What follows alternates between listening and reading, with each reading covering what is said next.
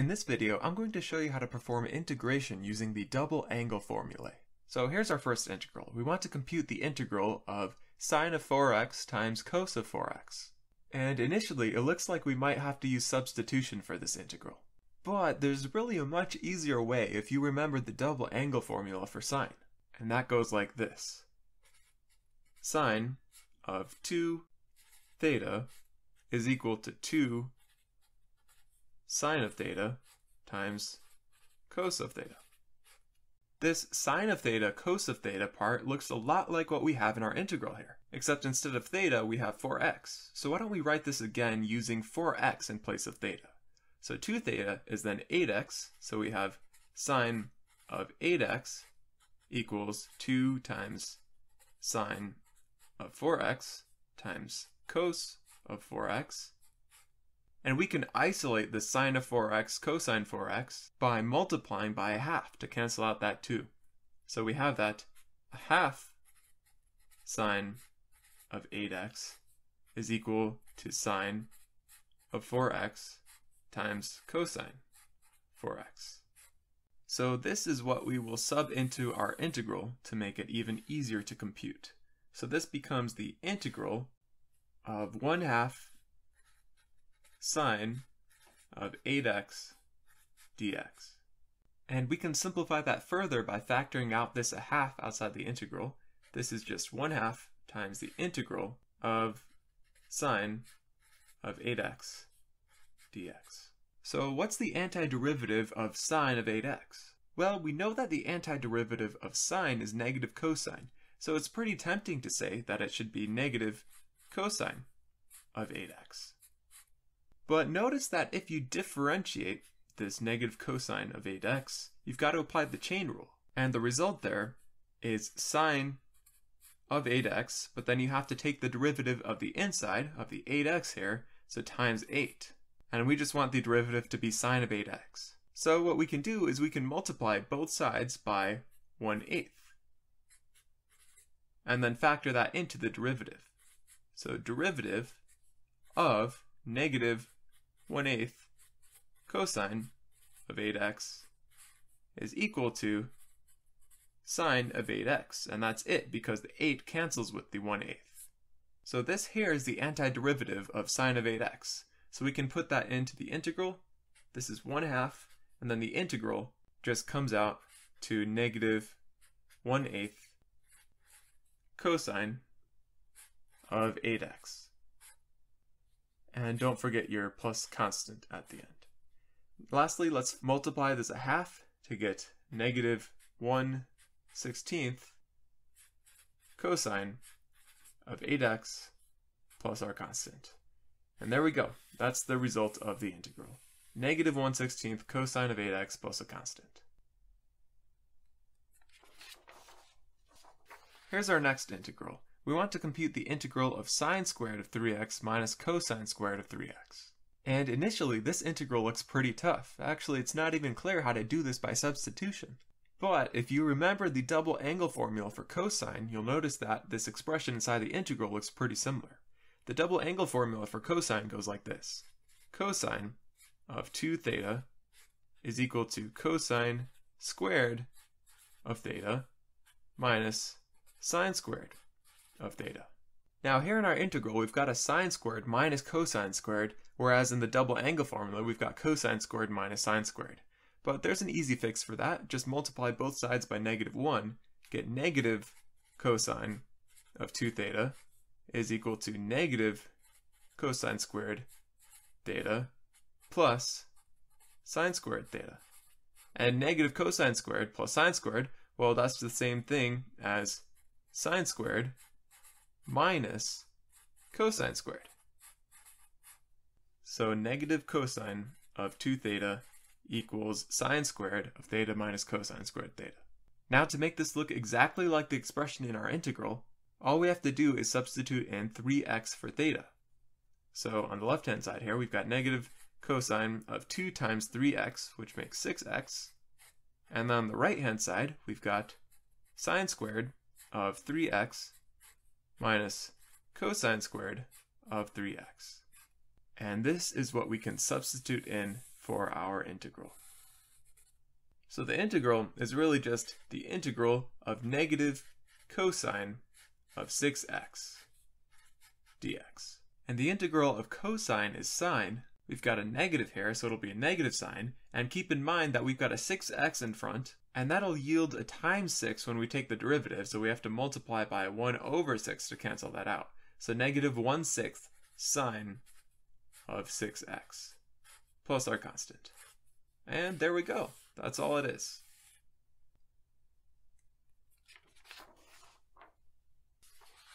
Here's our next integral, the integral of sine squared x. It's not clear how to do this by substitution. We can't use the sine double angle formula because we don't have a sine cosine term, and we can't use the cosine double angle formula because we don't have a cosine squared minus sine squared term. Or can we? We know that the cosine double angle formula is stated as cosine of 2 theta equals cosine squared of theta minus sine squared of theta. And we don't have a cosine squared term here. But what if we write this cosine squared term in terms of sine squared? That is, we know that sine squared of theta plus cosine squared of theta is equal to 1. So that means cosine squared of theta is equal to 1 minus sine squared of theta, which means we can just put this in for the cosine here. And the result then is cosine of 2 theta is equal to 1 minus sine squared of theta minus another sine squared of theta. And if we simplify this, we get that cosine of 2 theta is equal to 1 minus sine squared minus sine squared, so 1 minus 2 sine squared theta. And that means we can solve for sine squared theta in terms of cosine 2 theta. So let's go ahead and do that. Let's add 2 sine squared theta to both sides and subtract off that cosine of 2 theta. And we get that 2 sine squared of theta equals 1 minus cosine of 2 theta. And then just multiply by a half to get rid of that 2. We get sine squared of theta is equal to 1 half times 1 minus cosine of 2 theta. And if we sub in x for theta, it matches up with what we have in our integral.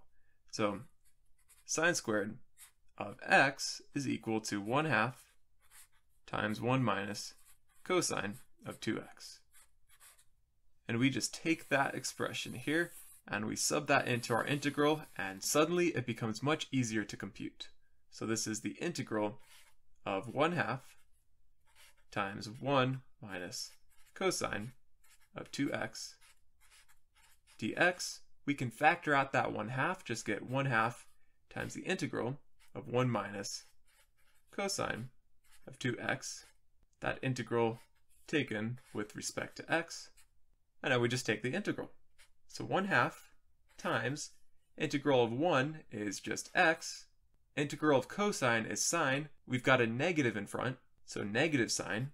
And before we write down that negative sign, notice that there's a 2x inside here. So if we were to differentiate, the chain rule would cause us to multiply by 2. And we can cancel that out by multiplying by half. So x minus a half times sine of 2x. And don't forget your constant of integration plus c. And let's just simplify this. Multiply through by half. 1 half x minus 1 fourth sine of 2x plus our constant of integration. And there we go. That's all there is to it. This formula here that we used is actually called the power reduction formula for sine. And to speed up computations, it might be helpful to remember it so you don't have to go through the derivation each time. But if you ever forget it, then you can always start with the double angle formula for cosine and use the Pythagorean identity, and you'll get there. Here's our final integral. We want to compute the integral of cosine squared of 2x dx. Again, this looks tricky. There's no clear way how to do it with substitution or sine double angle formula or cosine double angle formula. But again, there is actually a way that we can rearrange the cosine double angle formula to help us out. Let's start out by writing it again. cosine of 2 theta is equal to cosine squared of theta minus sine squared of theta. Now we just want cosine squared. That sine squared is kind of messing us up here. So what we do is we write the Pythagorean identity that sine squared theta plus cosine squared theta equals 1. Solve for sine squared in terms of cosine squared. So sine squared of theta equals 1 minus cosine squared of theta. And then put that expression in for sine squared theta here. And when we do that, we get that cosine of 2 theta is equal to cosine squared of theta minus 1 minus cosine squared of theta. And we can just simplify that. Cosine of 2 theta is equal to cosine squared of theta and distribute that negative sign, so minus 1, then plus cosine squared of theta. Simplify that even more. Cosine of 2 theta is equal to cosine squared plus cosine squared makes 2 cosine squared of theta, then minus 1. And we can solve for cosine squared theta here. That's what we want because that's what's in our integral. So add 1 to both sides. So 1 plus cosine of 2 theta is equal to 2 cosine squared of theta, and then get rid of that 2 by multiplying by a half. So a half times 1 plus cosine of 2 theta is equal to cosine squared of theta. And now to make this look exactly like what we have in our integral, we sub in 2x for theta. So 1 half times 1 plus cosine of 2 times 2x, which is 4x, is equal to cosine squared of 2x. And with that, we can finally make our ultimate substitution into the integral. The integral becomes just the integral of 1 half times 1 plus cosine of 4x dx. Factor out that 1 half outside the integral, so 1 half integral of 1 plus cosine of 4x dx. Take the integral. 1 half times integral of 1 is just x. Integral of cosine is just sine. So we want to put a plus sign, but hold on before we put that plus sign. Notice that there's a 4x inside the cosine. The chain rule will make us multiply by 4x when we differentiate, so we have to cancel that out by multiplying by 1 fourth. So plus 1 fourth sine of 4x. And then plus our constant of integration. Just expand that out. 1 half x plus 1 eighth sine of 4x plus our constant of integration. And there we go. We're done. Like before, it might be useful to remember this formula that cosine squared of theta is equal to 1 half times 1 plus cosine of 2 theta. That's called the power reduction formula for cosine. And if you remember it, then you won't have to go through all this work to derive it every single time. But again, if you ever forget it, you can just start with the double angle formula for cosine, use the Pythagorean identity to get that all in terms of cosine, and solve for cosine squared. So now we know how to perform integration using the double angle formula. In the future, we'll continue practicing some special techniques for integration, such as using polynomial division or completing the square.